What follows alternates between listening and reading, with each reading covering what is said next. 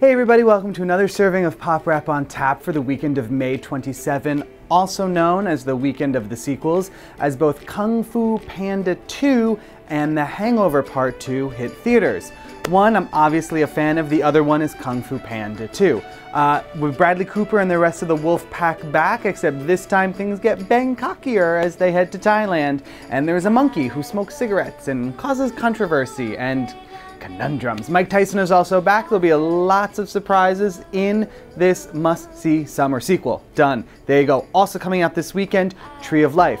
Totally on the opposite spectrum as Hangover Part 2. This is the Cannes Film Festival winner for Brad Pitt's new movie. It looks to be a really impressive visually striking sort of tale that admittedly is a little bit slow. It takes some time. It's Terrence Malick. He's the director. What do you want from him? He takes 10 years between movies. Obviously those films really take a lot of time to build, no matter how long they are.